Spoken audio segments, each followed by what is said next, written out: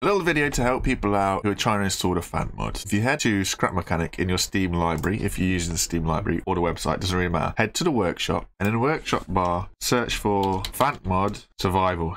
And then you'll come up with this in the top corner.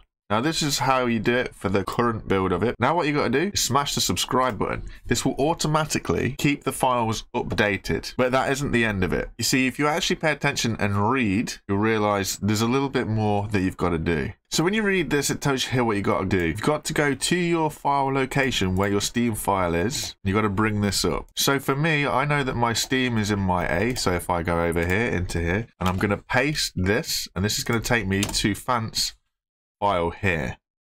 Then what you want to do here is, as it says, copy all folders and replace existing folders. So I'm just going to do what he says. I'm going to copy this.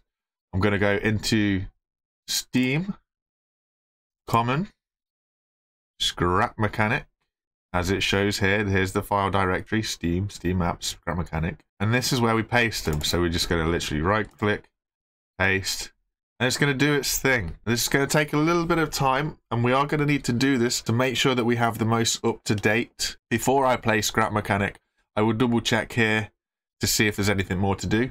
Replace the files in the destination, and it will just continuously chug along and do that. The reason why Fant has done this is because it helps him keep everything all in one place. It's easier for him on his end, but it's also a little bit easier for us because it means that when Fant updates his mod, it will automatically download those updates for us. It does, however, still mean you still have to manually pull the files across like we have done here in order to get the most up-to-date mod in our game, but automatically it downloads that mod for us. So what you can do to help us out is pin your files to quick access. So if I pin this folder and pin this to my quick access, that'll mean in my quick access, I've got the workshop folder here, and then I've also got the scrap mechanic folder here. So I could just drop into this, copy that, paste it in here, boom. And that is you with the Fant mod installed and updated. Now just run the game as you'd normally do it, and you should have everything all working.